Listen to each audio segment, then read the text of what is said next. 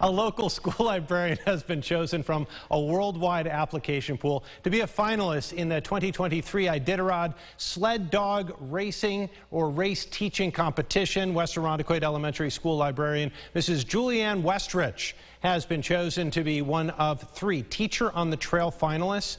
She leaves next week and will spend nine days in Alaska working on this year's race.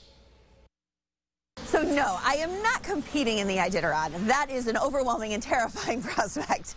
I am actually um, part of the Iditarod Education Department. There's going to be some sort of a challenge. I don't know what that is. I'm envisioning some sort of like survivor-esque type thing. I'm hoping it's a little bit easier than that. we'll find out. Um, and basically learning how to be an education ambassador for the Iditarod race. Now the winner will get to help with the race, dog care, and musher support.